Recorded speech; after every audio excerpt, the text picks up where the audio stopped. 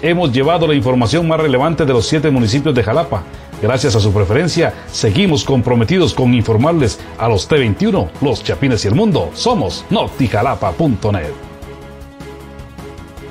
Fenómenos naturales están produciendo las actuales lluvias, así lo dijo José Bolaños, delegado de la Conred. Pues, según información que nos ha proporcionado Insigume, en este inicio de semana pues eh, se puede observar unos nublados en el territorio departamental, eh, posible ingreso de humedad en las gráficas que nos comparte Insigume eh, se ven algunos acumulados em, en las partes del oriente del país, parte nororiente también. Esto pues pudiera obedecer a algún fenómeno hidrometeorológico que, está transitando por la parte del Océano Pacífico.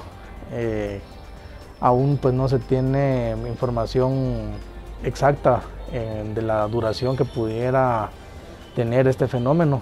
Eh, para el día de hoy lunes pues se tiene como finalización en horas de la tarde de lo que es el giro centroamericano.